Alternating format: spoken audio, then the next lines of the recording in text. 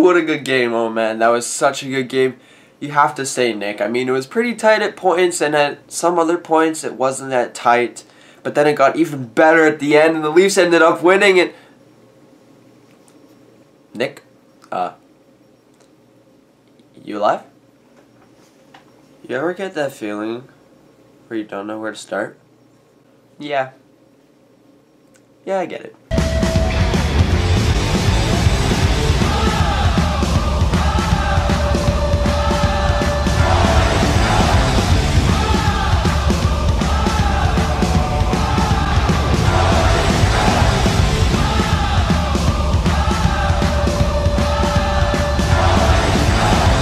What is up guys? My name is Nicholas Scarcella and welcome back to another video. Today, we are back as the Maple Leafs take a W. They beat the New York Rangers 8 to 5 in regular time.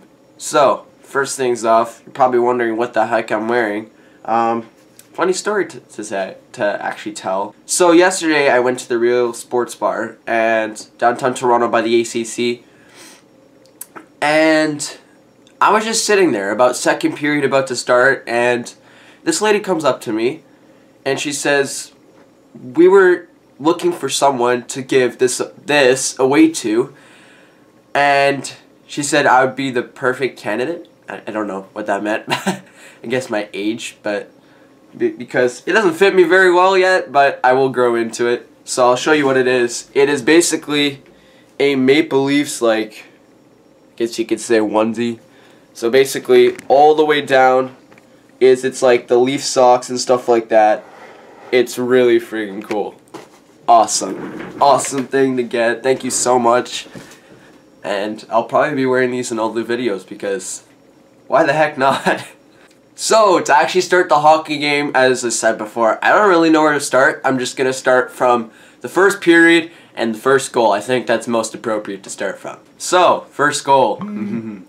first goal of the season, sitting in that Place Real Sports Bar, you can tell that everybody is so pumped for the Leafs to score the first goal of the season. All of a sudden, the Leafs bust into the zone, taking shots, firing shots at Henrik Lundqvist. He's having a little bit of trouble. You can already smell a goal coming. A shot comes from the point, from Matt Hunwick, tipped on goal by Dominic Moore. That's the first one for Dominic Moore of the season. And it's at home, where Toronto Maple Leafs should be scoring. So, that looks, that looks pretty good, right? Toronto's on top. You know, you know, Rangers rush into the zone and, you know, they take a couple shots and then, and then uh, Andrew Miller tips it. Oh, Andrew Miller! So yeah, JT Miller, actually. Andrew Miller. JT Miller tips in front. It is one to one, and we are no longer winning as the Maple Leafs. Toronto then finds a way to get past the Rangers again. So the Rangers are trying to break out the puck, and they do a pretty good job up to the red line. And instead, the Maple Leafs take the puck. Who is there to take the puck? It is Zach Hyman. Very good right winger. I'm so happy on, he is on Matthews' line. He deserves to be on Matthews' line. After playing so well with Kadri and Leo, and Leo Komarov, excuse me, last season. So, Zach Hyman breaks it to the zone, dekes between two guys. He dekes out two guys, then goes on Henrik Lundqvist. Big stop by Lundqvist. Then they're trying to break it out again. Hy Hyman takes the puck again, goes for a little jog, gets around Lundqvist. That's the second goal. 2 to 1 for Toronto. About not even that far after. This this was a crazy game. Not even that far after Toronto is on the power play. Now, this is where the, one of the things that I have to say I don't really I don't know, I don't feel comfortable saying it, but Jake Gardiner actually had a very nice goal. And I like to call him Knucklehead just because he's always that guy to cough up the puck at the blue line. He's doesn't keep the puck in. And it's just like, oh, knucklehead, come on, keep the puck in the zone, right? But this time, he really stunned me. Jake Gardiner goes from one end to the other and scores the most beautiful goal probably of his career. probably not, but it was a very nice goal. He comes through, dekes at one at the red line, dekes two at the other blue line, goes on short side to Henrik Lundqvist. It's 3 to 1, and let's see another one. So the Leafs, every single time it, they were in the zone, whatever you want to say, every time they were in the zone of the New York Rangers, it kind of looked like they're on a power play every time. It was very, very exciting to watch them play this period. And I'll get into the other stuff in one moment. So, lots of shots on net. Leo Komarov fires one off, hits the post. They bring it back around. Ron Hainsey doesn't want to take a shot. He's like, you have this, you got this, Nikita Zaitsev. He's like, okay, I'm going to take the shot. He actually scores, and it's 4 to one now. Oh my goodness. The Maple Leafs were playing hard. And then right after, about a couple minutes later, the Leafs break in the zone once again. This is a play that they've been doing against the Rangers the entire game in the first period and the end of the game. We'll get that. We'll get to that later. But the Rangers are trying to get the puck out, and it sneaks into Lundqvist pads. Digging in was William Nylander. It actually went off a defender, and Nylander got credit for the goal. That is five to one. Exiting. The first. Oh wait, the the Rangers scored. Oh. Five two. Exiting the first period. Now for these goals, I don't really need. Sorry. Now for these goals, I really don't need to uh, tell you how they scored them because I'm not a Rangers fan. I'll just show you why it happened. So about three of those goals yesterday, three of the goals I'm telling you right now by the Rangers in that second period were screenshots. Every single goal. Who was in front of the net? It was either Miller or it was Shattenkirk for some reason. Shattenkirk got in front of the net or it was any other Rangers player, any player that got in front of the net, it was a power play.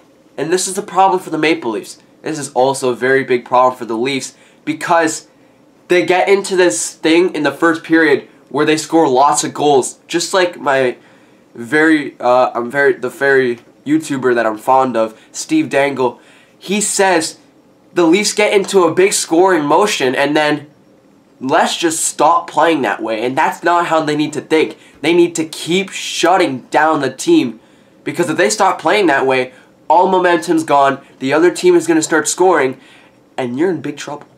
So the Leafs need to remember, let's not take our foot off the gas.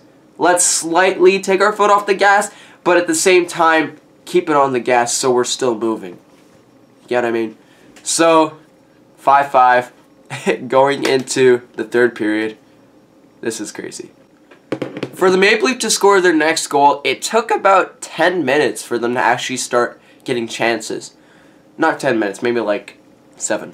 Seven minutes into the period, the Leafs were actually getting some nice chances, and I was feeling the goal. I felt the goal seven minutes into the period, and just about eight minutes left in the period, 12 minutes left in the period, about eight minutes into the period, the Leafs are doing a lot better than they did in the second.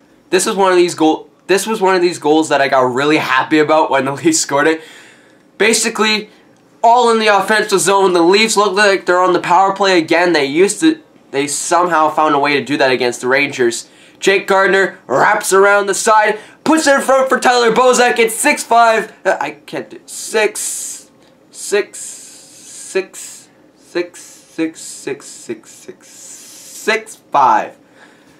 And the Maple Leafs are beating the New York Rangers. It is time for the Leafs to destroy. Now, when this happened, this goal, I don't think a lot of people realized that it didn't go in at first. So, what a goal. This goal was me going, settle down now. I even did it to my dad. I'm like, when he's like, yeah, yeah, we can do that now. We can breathe. So, the Maple Leafs, again, breaking in the zone. They seem to do this a lot. Everybody does this to score. I mean, it just makes sense. Dump and, dump and chase, dump and chase, right? It's how you score. So, the Maple Leafs bust into the zone, and they have a chance to score. Auston Matthews sets up William Nylander. Nylander goes for it on the backhand. He goes top shelf. And nobody notices Leo Komarov right there to knock in the puck. Now, this is where it gets interesting when they go on video review, they go to see that William Nylander's shot actually didn't go in. It hit the crossbar and came back out. if Leo Komarov did not tip that puck in after they thought Nylander scored, it would have been 6-5. The refs would have called it off. So thank you, Uncle Leo, for scoring that goal. Thank you so much. The Leafs then went to score a power play goal at the end of the game. And that was the final. 8-5 for the Maple Leafs. And I am so happy they won that game. Thank you so much for watching. I hope you guys did enjoy. If you did, smash that like button or just tap it lightly. And then subscribe for more because I will always be here every Leaf game. I promise you that. And that is all I have to say. I hope you did enjoy this video and I'll see you guys soon. Take it easy guys.